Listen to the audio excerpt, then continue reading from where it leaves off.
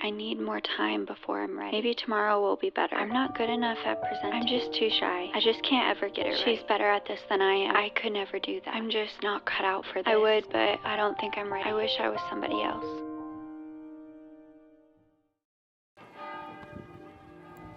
Over the year, I've been thinking a lot about how to overcome self doubt, how to raise my self esteem, raise my sense of self worth, express my true self and feel more confident in what I bring to the table. Maybe right now you find yourself in a situation where you're applying for your dream job and feel a bit like an imposter. Maybe you struggle with staying true to yourself when you're around certain people like your parents, family, or friends. Maybe you feel inspired to start your own business but struggle with believing that you can actually make it happen. I believe that we can all relate to feeling hesitant about our choices and that we've all experienced second guessing ourselves at some point in our lives. I still run into situations where my self-doubt rains on my parade, where my fear of not measuring up to another person's idea of success makes anxious thoughts swirl in my mind. But I will say that because of the practices and the habits that I've been cultivating that I'm gonna be sharing with you today, the level of doubt that I do feel when I'm in those types of situations isn't nearly as intense or as scary as it used to be.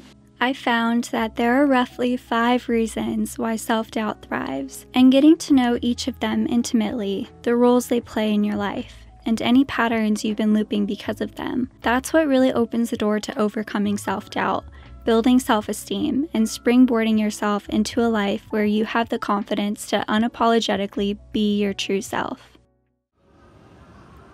The first reason is when we've become too risk averse. I used to fall into this pattern where I'd feel inspired to do something new, something that aligned with my goals. But if the effort I'd have to put into it was just a little bit too uncomfortable, or if I had nothing in my past I could compare it to so I could predict how things would turn out, I would sometimes talk myself out of taking action simply to avoid the possibility of feeling embarrassed or rejected. I've found that when I'm having a lot of self doubt around taking aligned and healthy risks, that type of self doubt is signaling that we need to focus on two things cultivating self trust and letting go of control. To strengthen the trust you have in yourself, you'll need to take some aligned action and start intentionally taking a chance on the unknown. That is what will create the proof that your subconscious needs to believe that you are capable of navigating situations that you don't have all of the answers for. Now, that doesn't mean that you have to jump into the most challenging scenario you can think of right off the bat. I actually believe that I found more success in building my self esteem and building my confidence by taking a slower and more gentle approach to walking through my fears. When I used to force myself to jump five steps ahead of where I was energetically, I would often reinforce that limiting block or that fear that I was trying to heal. So the next time that you're facing this type of self-doubt, try taking some small very little aligned steps that match up energetically with where you're at, what you feel like you can take on, that are also slightly outside of your comfort zone. To give you an example of what that process can look like, one of my biggest blocks that I wanted to overcome this year was my codependency and my fear of doing things alone. The first small step I took was promoting myself from passenger princess to being the main driver in the relationship. Then I started taking myself on solo dates, like going to coffee shops by myself and going to the park to read. Now I've started going to events by myself to meet other girls in the area.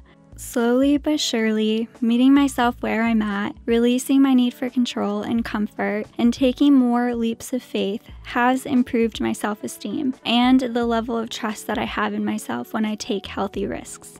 Secondly, when we become too risk averse and we let our need for answers and clarity become a requirement for moving forward, what we're actually doing is shutting ourselves off from the things that we want to come to us from unfolding and manifesting in the ways that they're actually meant to, the ways that they're actually supposed to. Something I've learned is that more often than not, the things that we want they come to us in the most odd, weird, out there ways that we could never expect. And so we want to have an open mind. So when I feel this need for clarity and control coming up, I like to intentionally let myself be surprised by what the day has to offer. I pour more of my energy into practicing mindfulness, letting go of control, letting go of any expectations that I have, and simply focus more on being in the present moment. Also, something fun that I like to do, or at least I find fun, is whenever I'm nervous or overthinking and anxious about walking into a new situation, I like to sing the chorus to Que Sera Sera by Doris Day over and over in my head. That song just instantly calms my nerves. Let me know in the comments if you have a song that does that for you too. The second reason why we might be doubting ourselves is when we don't believe that our best effort is good enough. This is the part of us that's the perfectionist, the part of us that is afraid of failing or making mistakes to the point it immobilizes us. And personally, this type of self doubt makes me become the person that puts the pro in procrastination. This can look like staying quiet in conversations because you're afraid of saying the wrong thing needing a backup plan for your backup plan in case you drop the ball, or spending all of your energy and time preparing yourself to only then end up talking yourself out of taking action because you don't feel ready. I've actually dedicated an entire video to how I've been healing this part of me. I highly recommend watching that next if you are a perfectionist and a procrastinator as well. But when it comes to overcoming self doubt in this way and building self esteem, I found that these four reminders help me immensely in the moment when I notice self doubt creeping in. One, I'm human, not a machine, and any mistakes I make won't end the world. Two, every single person on this earth is a work in progress. They're just experimenting, learning, and trying to do their best every day. I shouldn't put anyone on a pedestal. Three, I deserve to try. Four, even if an idea flops or someone disagrees with me, I'm still worthy of taking up space. The people and situations that are meant to be in your life will never make you feel like you have to prove yourself. And I hope that you start to see that just like you, everyone is throwing spaghetti at the wall, just waiting to see what sticks. The third reason why we might be struggling with self doubt is when we're stuck in a scarcity mindset. When you want something in your life that you don't believe you could ever attain. Maybe because you feel that there's just not enough to go around, that the market is too saturated to make space for you, that you'll just get lost in the crowd, that you don't have the skill set, or because you feel like you're not the kind of person that has good things happen to them. That's when you're looking at life through the lens of fear and lack. Personally, when my self doubt is because I don't believe that feeling abundant is possible for me, I have somewhat of a three step plan or routine that helps me heal the root of what's going on and why I'm in a lack mindset. First, I prioritize self care. So, taking a shower, cleaning up my space, going for a walk outside in nature, and prioritizing getting myself back to a peaceful state of mind puts me in a place where I can objectively reflect on my self doubt and listen to my intuition on how to move through it. After feeling like I'm at peace with myself, I then take an honest look at what it is that I feel like I'm lacking. I found that when I'm struggling with this particular type of self doubt, it's almost always because I'm comparing myself to others, which usually happens because I'm mindlessly scrolling for way too long on social media, and that always shines a spotlight on the part of me that feels inadequate. But something that I've learned that has really helped me reframe the way that I see jealousy and envy, what we're jealous of in others is untapped potential within us. And that's just such an empowering thought because once you discover what it is that you feel like you're lacking from your life, you have all of the power to take those small steps towards bringing it into your reality. And that brings us to the third step. After I've pinpointed what it is exactly that I feel like I'm lacking, I take initiative and take intentional steps forward that help me feel prepared to create the life I want. So, for example, if you feel pulled to change your career, think about what skills you can start to learn that bridge you from your current role to your desired one. And the kindest thing that you can do for yourself in this space of self doubt is to let yourself step into the role of being a student and being a beginner. Commit to trying something new that nurtures your soul and brings you some sense of fulfillment. You don't have to be an expert from day one. Significant changes take time, effort, and consistency. But I promise you that if you choose to be consistent, regardless of how motivated you feel, if you focus on making progress rather than trying to be perfect, if you go out there and give it your best shot, one day you will feel confident with that new skill that you're learning, and your self doubt will start to fade.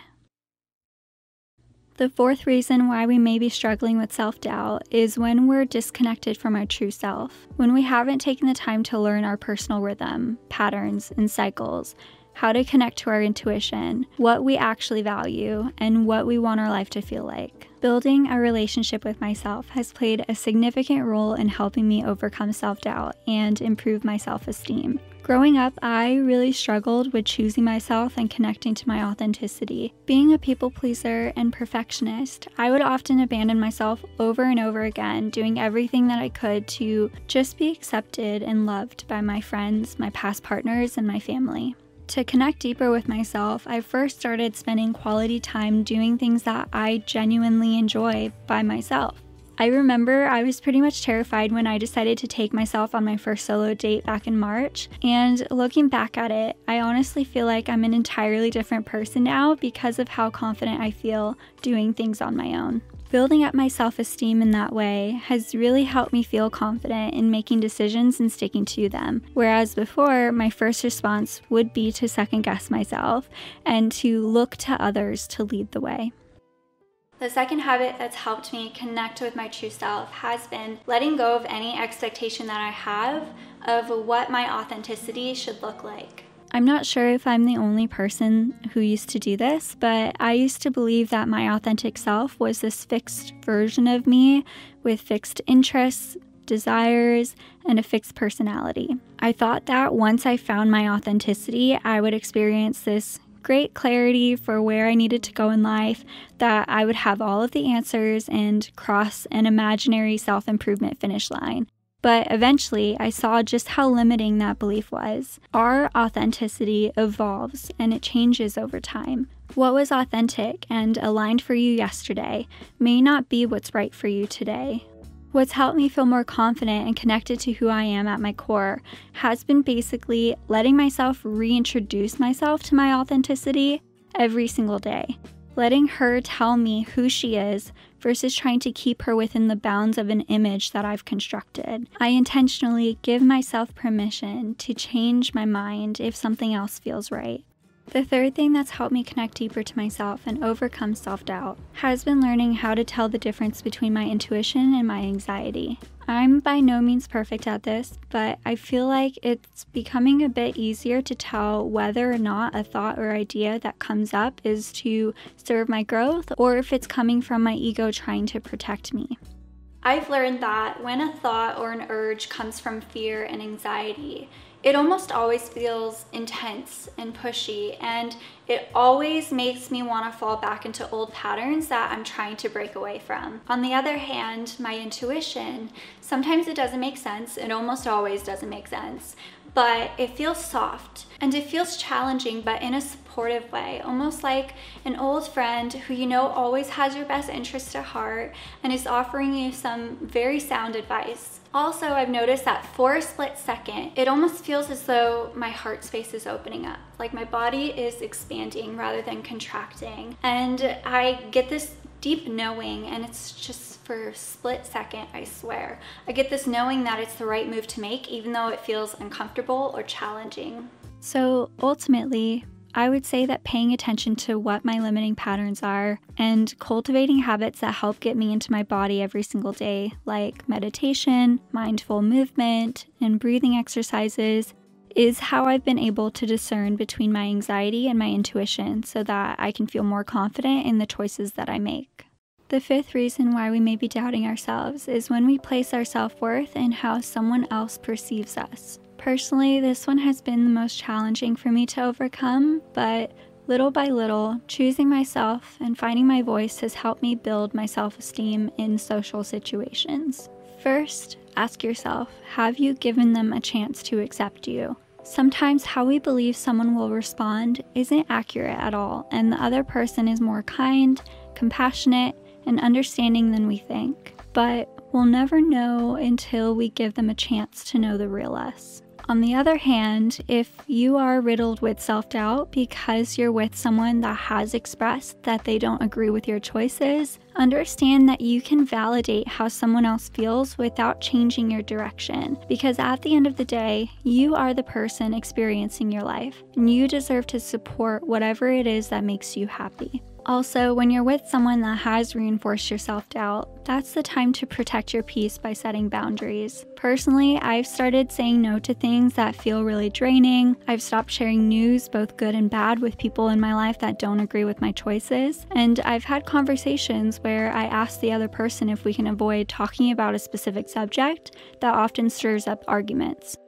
And with all of my boundaries, if I'm feeling heated in any way, very upset with that person, I always make sure that I separate myself from them for a little bit, give myself time to simmer down, cool off. That way I can approach setting this boundary from a place of love and kindness. That way it has a higher chance of sticking and that person respects your boundary and doesn't cross any lines. Also, if you're setting a boundary with somebody that you want to maintain your relationship with, that you want to keep in your life, and they're worth the effort, more often than not, that type of person, they genuinely want to see you succeed. They genuinely want to see you happy. They just can't look past their own limiting beliefs, their blocks, what they've been taught growing up. They can't see past that to see that there's another way way of living. And that's no excuse for them, but that can help you approach setting that boundary in a place of understanding and calmness. That can help make sure that person doesn't feel attacked and it can help preserve the relationship that you have with them.